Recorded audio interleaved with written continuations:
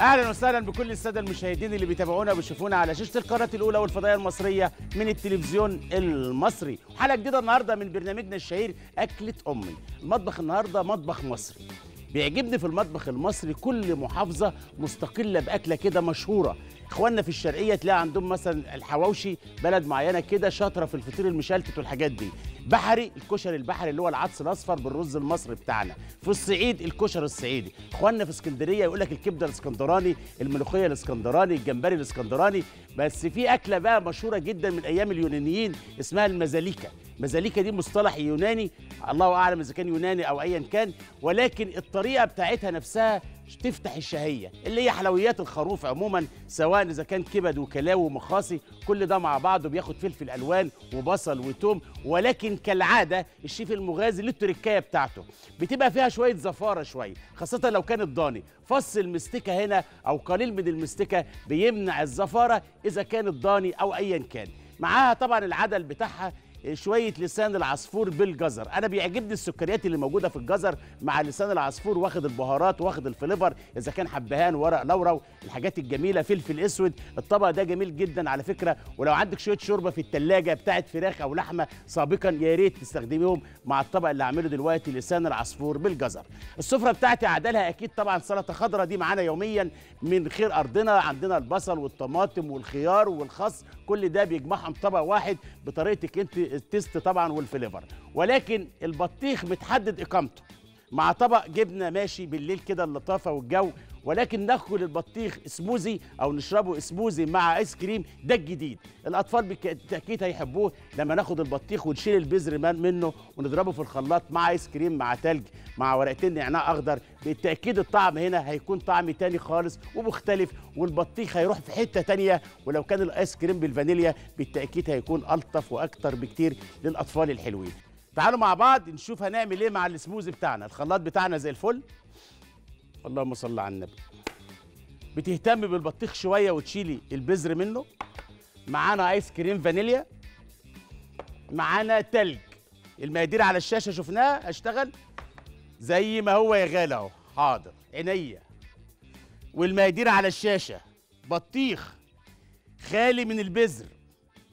ولازم. لأن لو في بذرتين ولا بذرة هتبوظ لك ال mood كله.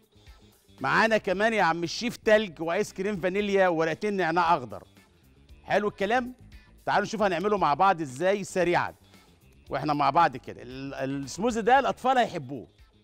وتغيير يعني إحنا عايزين مش كل شوية هناكل بطيخ بالطريقة المعتادة. أنا جايبه كده برده متقطع أهو زي الفل معانا. في قلب الطبق اللي حبه كده أهلا وسهلا أهو زي الفل. نحطه جنب لسان العصفور كده. ألف هنا وشفا. ومعانا الكوبايات بتاعتنا. النهارده زودناهم واحدة. اللهم صل على النبي. الطبق ده كده زي الفل. أول حاجة هنحطها البطيخ بالشكل ده كده. اوعي البذر مع عصير البطيخ أو السموزي. آه.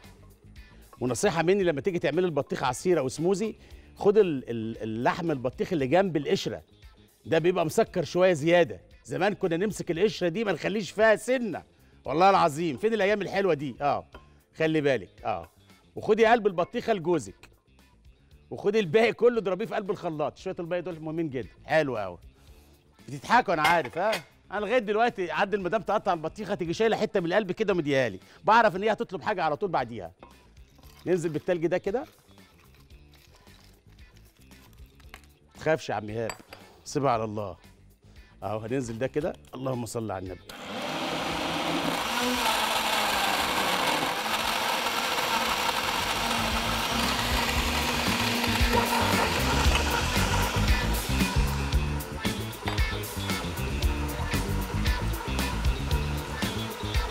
ورقتين نعناع اخضر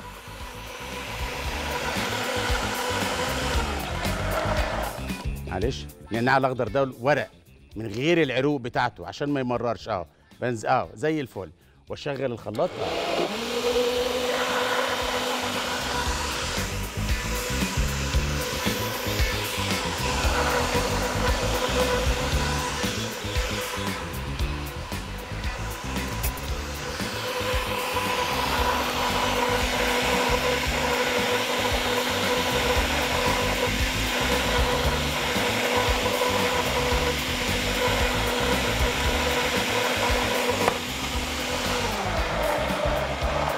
خلص الكلام. ايس سموزي بالايس كريم هنعمل إيه كمان؟ معانا ايس كريم فانيليا بناخد منه شوية كده. نحطهم في الكوباية دي كده. ده الجديد بقى. ده الحاجات اللي الاولاد يحبوها. آه. ايس كريم فانيليا في قلب الكوبايات كده. اهو حاجة جديدة. وممكن تعملوا ايس كريم فانيليا ده في البيت. كريم شانتيه. مع فانيليا تضربيهم في قلب الخلاط بيبقى معاك ايس كريم فانيليا. أو تشتري علبة ايس كريم فانيليا من أي سوبر ماركت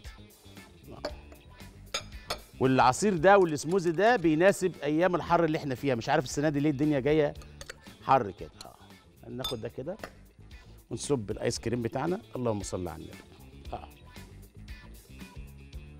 بسم الله الرحمن الرحيم. يا صبابين العصير حتى لو بطيخ زيدوا حالاته. آه آه لا حاضر. عينيا. آه حبيبي مصطفى معايا؟ في الأستوديو. بحبه أنا مصطفى. مصطفى شفيق. آه آه إيه الحلاوة دي؟ إيه الح... حاضر يا فندم. أعمل إيه؟ قولوا لي. اهو كل حاضر. عينيا. اهو اهو اهو هو آيس كريم هو الآيس كريم باين كده من بر... من بره. اهو اهو زي الفل. ألف هنا وشفا للي يشرب منه. سموزي الآيس كريم بالفانيليا. على الشاشة قدام حضراتكم. حلو الكلام؟ طبعا في الخلاط ده كله بتاعنا. كل بقول لك يا بختك يا شيف. حلقتنا النهارده بساطة سهولة مرونة. قدرت أخش المطبخ المصري بخفة دم مصرية. عينيا. أهو. حلو. مهم جدا وأنت بتخش المطبخ عايزك. يعني إيه؟ أي نعم بتبقى أكلت الأكلة دي من إيد والدتك من إيد حماتك. آه الزمن الجميل طبعا إحنا كلنا عارفين. ولكن أنا دايما مع ست البيت إن هي تضيف لمساتها في الطبق. حتى لو كان طاجن بامية باللحمة الضاني. مرة تحمري البامية. مرة إنك أنت آه تحطي البامية ني في ني عينيا حاضر. ولكن المزاليكا النهارده قدمتها بشكل جديد بطريقة جديدة. الكاس كده زي الفل اهوت ألف هنا وشفا. طبعا الآيس كريم باين كده حاجة حلوة.